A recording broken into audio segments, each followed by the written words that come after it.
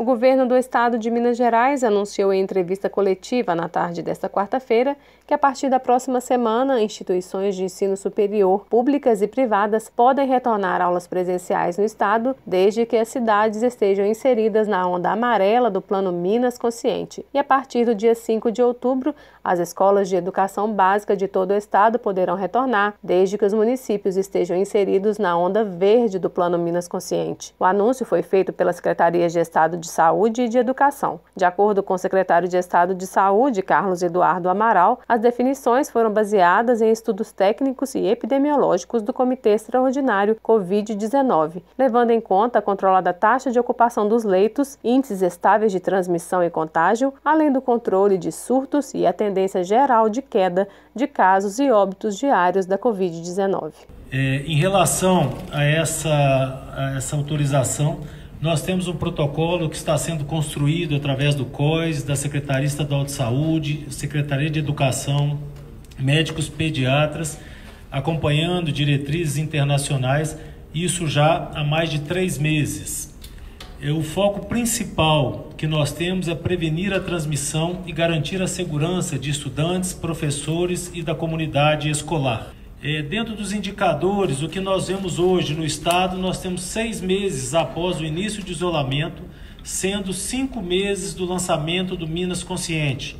Então, nós entendemos que hoje o Minas Consciente é um programa de acompanhamento que está maduro e que tem sido muito útil no direcionamento do Estado. Nós vemos um momento de estabilização com viés de queda nós temos a redução progressiva do número de diagnósticos e principalmente do número de óbitos. O secretário de Estado de Saúde diz que o retorno será gradual, com avaliações constantes, respeitando a autonomia dos municípios. As premissas da nossa avaliação são que nós teremos um retorno gradual, isso é muito importante, nada de forma abrupta. Um protocolo incluindo regras de surtos e afastamento isso também será mantido.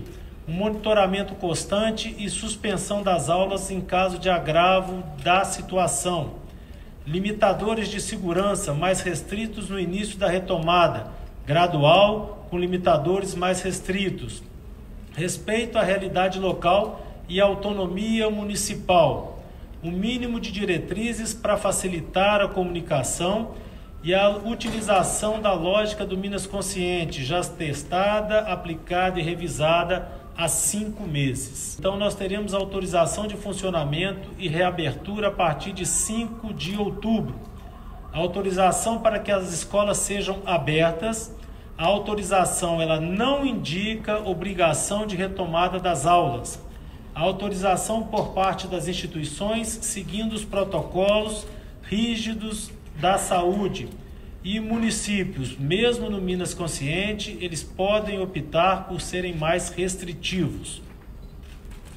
Então, dentro dessa autorização, na onda amarela nós temos os, a educação superior e cursos livres, então autorização para funcionamento de graduação, pós-graduação e outras atividades de ensino.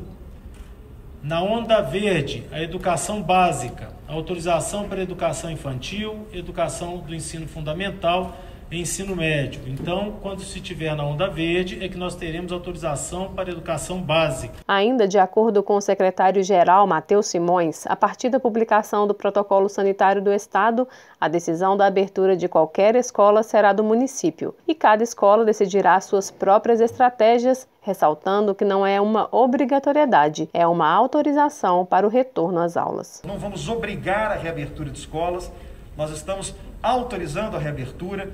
E eu queria chamar a atenção para uma parte da apresentação do Dr. Carlos, quando ele diz: nós vamos respeitar a autonomia municipal. Nós estamos dizendo que onde os municípios não autorizarem a reabertura, a reabertura não ocorrerá, nem de escolas estaduais, nem de nenhuma outra escola. É, o município é palavra final nesse ponto.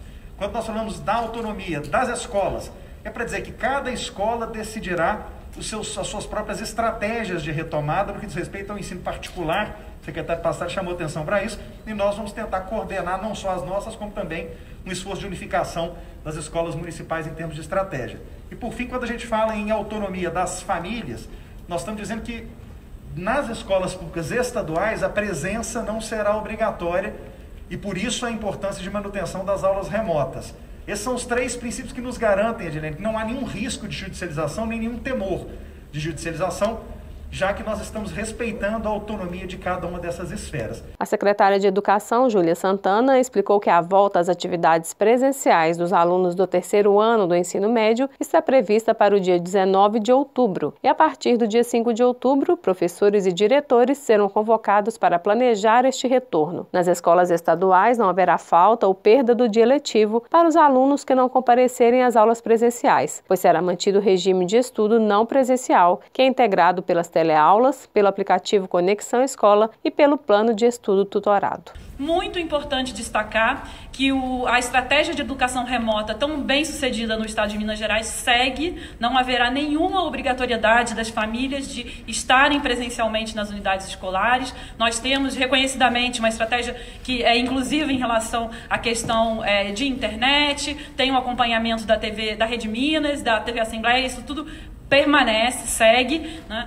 Nós estamos com a previsão de, de incluir, né, iniciar a partir do terceiro ano do ensino médio, entendendo que a situação mais difícil e complicada é para esses alunos na fase de conclusão, tendo em vista a aproximação é, do Enem e reforçando o ponto que essa, a inclusão dos alunos, a, a, a oferta das, das estratégias presenciais será progressiva e realizada com todo cuidado. Essas aulas presenciais estarão concentradas numa estratégia também de fixação dos conteúdos que já vêm sendo trabalhados na educação remota, sempre em consonância com, com o que nós temos realizado em relação às atividades é, remotas.